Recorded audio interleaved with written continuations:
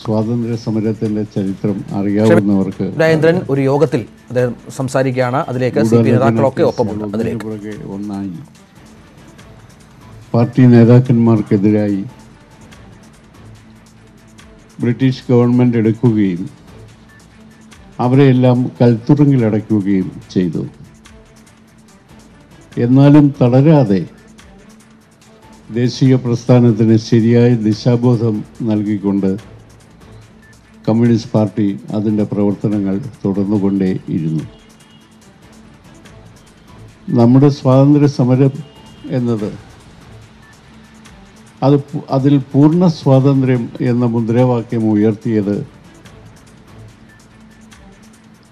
കോൺഗ്രസിനുള്ളിലും പുറത്തും പ്രവർത്തിച്ചിരുന്ന കമ്മ്യൂണിസ്റ്റുകാരാണ് എന്ന് ചരിത്രം രേഖപ്പെടുത്തുന്നുണ്ട്.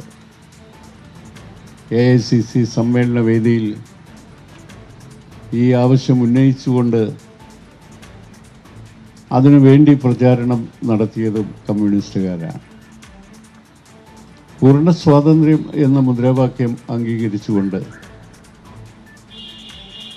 ദേശീയ പ്രസ്ഥാനം അതിന്റെ പ്രവർത്തനം ആരംഭിക്കുമ്പോൾ അതിന്റെ പിന്നിൽ ഇന്ത്യയിലെ കമ്മ്യൂണിസ്റ്റുകാരുടെ പ്രവർത്തനമുണ്ടായിരുന്നു എന്ന് നമുക്ക് കാണാൻ കഴിയും. ആയിരത്തി തൊള്ളായിരത്തി പതിനേഴിൽ ലോകത്താദ്യമായി ഒക്ടോബർ സോഷ്യലിസ്റ്റ് വിപ്ലവം നേരത്തെ കെ ടി ജലീലിന്റെ വാക്കുകൾ അവിടെ കൊലപാതകം